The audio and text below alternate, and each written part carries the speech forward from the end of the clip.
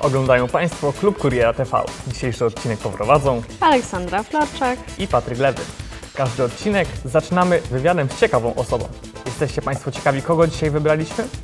Aleksandro, uchylimy rąbka tajemnicy? Absolutnie nie. Natomiast najszybciej jak potrafimy, zaprosimy Państwa na materiał.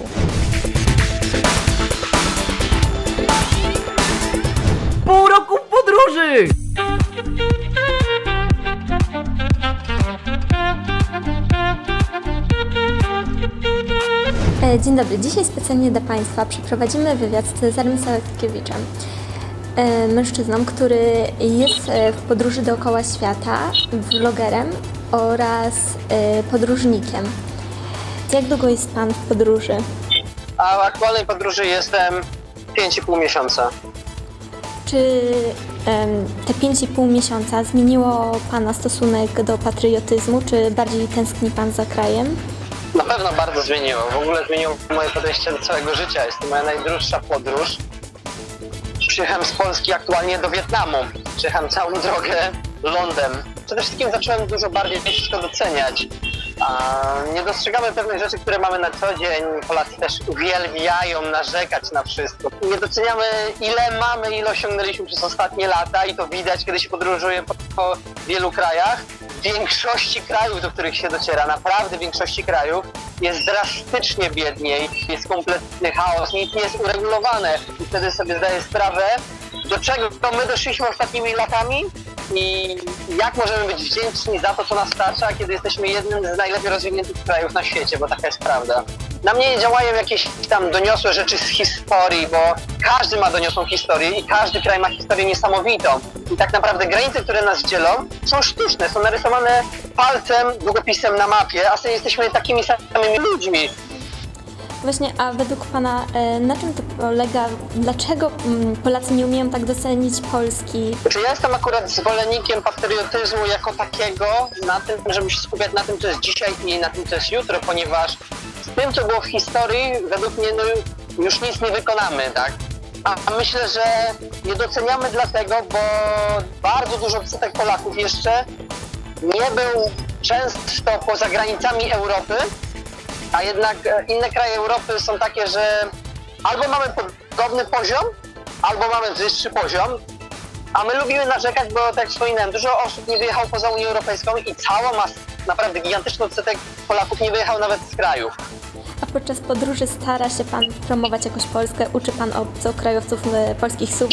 Porównuje Pan kultury? Mamy w Polsce ogólno sto, e, stowarzyszenie autostopowiczów, więc wożę zawsze nasze polskie naklejki i takim mm, ludziom, którzy naprawdę nam pomogli, mnie pomogli w trasie, zawsze zostawiam tą naszą naklejkę, żeby mieli coś od nas. Dla wyjątkowej osoby woziłem cały czas miałem magnes polski. Oczywiście są miejsca, gdzie kompletnie ludzie nie słyszeli o Polsce, nie wiedzą, gdzie jest Polska.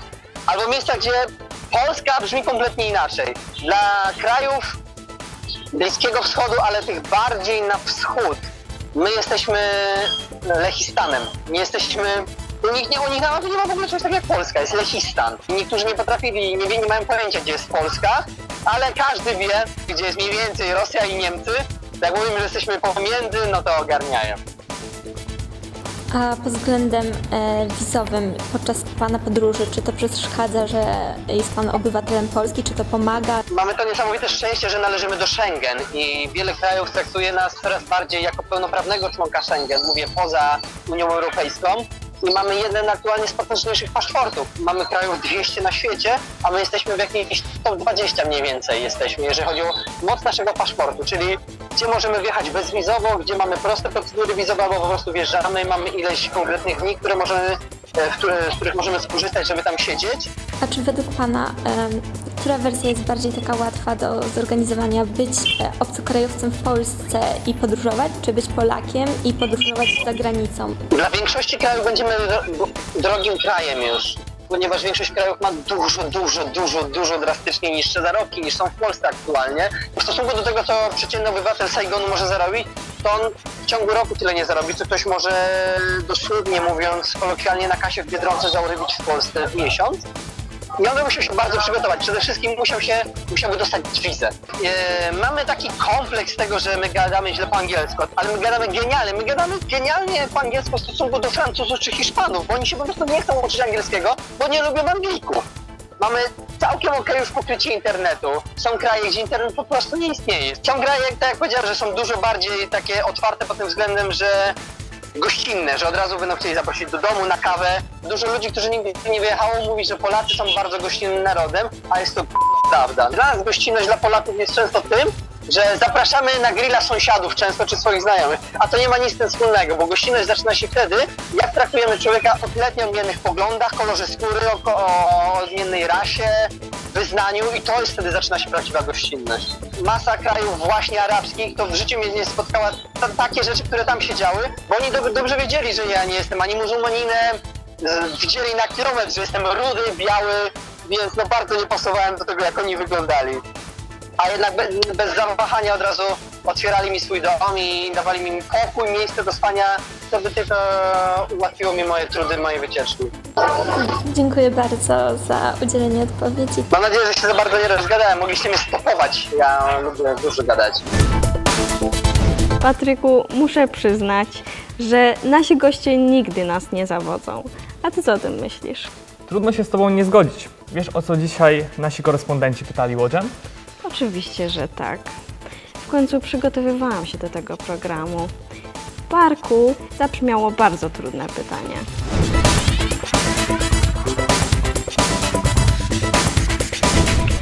A powiedz, co sądzisz o nowoczesnym patriotyzmie? Jak można e, go okazywać? Mm, Patriotyzm od lat się niezbyt zmienił. W sensie pojęcie nowoczesny patriotyzm jest dla mnie tym samym, czym jest patriotyzm. Y, Trzeba być po prostu dumnym z tego, kim się jest. Trzeba odnaleźć siebie w całym otoczeniu. Trzeba poczuć, że jest się częścią czegoś wielkiego. nowoczesne, no to pracować, płacić podatki. Co jeszcze? Uczyć dzieci. Ja nigdy nie, znaczy mówię tylko o sobie, żeby nie było, że ja tu wiecie, mówię w imieniu jakiejś szerszej grupy. Po prostu nie, ja nie, nie lubię e, takiego ro- robienia rzeczy na pokaz. Dzisiaj osobiście uważam, że jest wszystko taką podszyte taką tromtadacją. To jest takie, wiesz, to jesteśmy wszyscy napompowani, nabuzowani. A to nie o to chodzi. Tak myślę, że po prostu wstanie rano człowieku, umyj się, żebyś w tym tramwaju tam pod tej pachy nie, wiesz, nie, nie waniało. E, Wiesz, e, nie wiem, staraj się jak, nie wiem, zrobić coś dobrego dla, dla drugiego człowieka. Adoptuj psa na przykład, wiesz, zapłać na jakąś e, fundację, jakiś grosik wrzuć. Wiesz, jak cię, kurczę, ktoś poprosi o pomoc, to mu po prostu zwyczajnie pomóż, tak? No myślę, że bycie nowoczesnym patriotą to, to wiadomo, że być teraz aktywnym w różnych świętach patriotycznych jest dużo teraz social media takich o tematyce patriotycznych i też można być aktywnym na tego typu forach. Pójście nawet w sport połączony z patriotyzmem, to jest coś fajnego, bo to wtedy można troszeczkę większą grupę ludzi połączyć. Dla mnie, ja jestem fanką zwierząt, więc można nawet patriotyzm ze zwierzętami połączyć, marsz ze zwierzakami. To by była dla mnie super sprawa, bo wtedy ja też bym się bardziej zainteresowała. W ostatnim odcinku rozmawialiśmy o obowiązkach obywatelskich. Dzisiaj przyjrzymy się drugiej stronie monety. Jakie obywatelstwo gwarantuje nam prawa? Odpowiedź poznamy już za chwilę.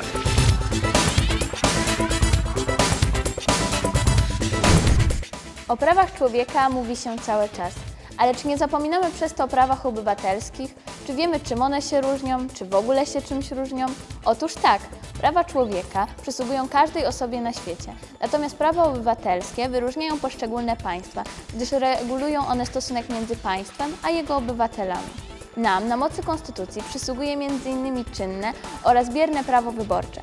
To właśnie dzięki niemu każda osoba, która ukończyła 18 rok życia może głosować w wyborach, a te nieco starsze nawet w nich kandydować. Mamy również prawo do nieodpłatnej pomocy zdrowotnej oraz pomocy socjalnej. Warto również pamiętać, że każda osoba pracująca może domagać się wynagrodzenia w postaci najniższej stawki krajowej. Na podstawie tych kilku przykładów można zauważyć, że prawa obywatelskie są dopełnieniem praw człowieka. Dlatego sprawdź koniecznie, jakie jeszcze Tobie przysługują prawa jako obywatelowi Polski. Z Centrum Dialogu mówiła Aleksandra Pawelczyk. W tym roku obchodzimy stulecie odzyskania przez Polskę niepodległości. Wszyscy, nawet tuż po wybudzeniu ze śpiączki, doskonale wiemy, że architektem stworzenia wolnej Polski był Józef Piłsudski. kolejnym reportażu prześledzimy jego związki z Łodzią.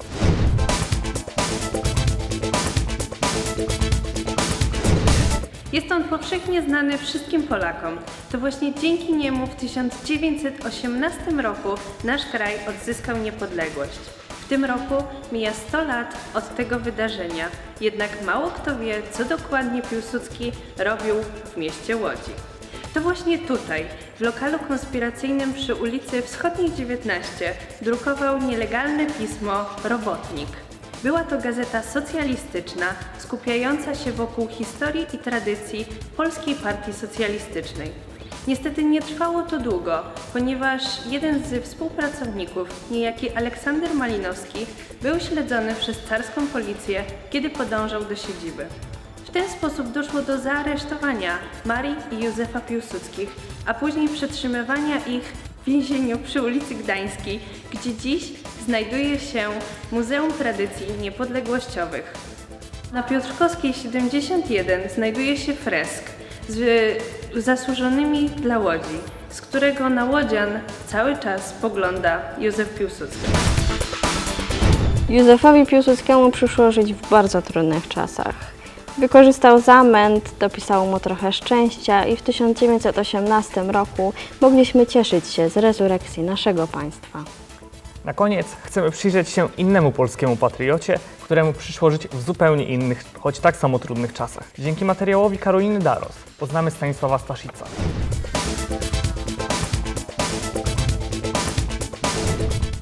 Stanisław Staszic był polskim działaczem, filozofem, uczonym, pisarzem i księdzem. Urodził się w listopadzie 1755 roku w Pile w jednej z mieszczańskich rodzin.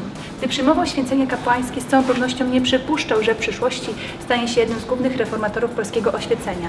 Potrafił połączyć różne dziedziny gospodarki i nauki w celu zreformowania zacofanego po tragedii rozbiorów i wojen napoleońskich państwa. Angażował się również w polską publicystykę, tworząc takie dzieła jak Przystrogi dla Polski czy Uwagi nad życiem Jana Zamojskiego. Otwarcie mówił o mobilizacji sił zbrojnych oraz o prawach chłopów i mieszczan. Idee, jakie propagował Stanisław Staszic, zdecydowanie nie miały jedynie teoretycznego zastosowania. Był człowiekiem, który w realny sposób chciał przysłużyć się społeczeństwu, mawiając pierwej naród, potem swobody, pierwej życie, potem wygoda. Z Centrum Dialogu Marka Edelmana, Karolina Daros.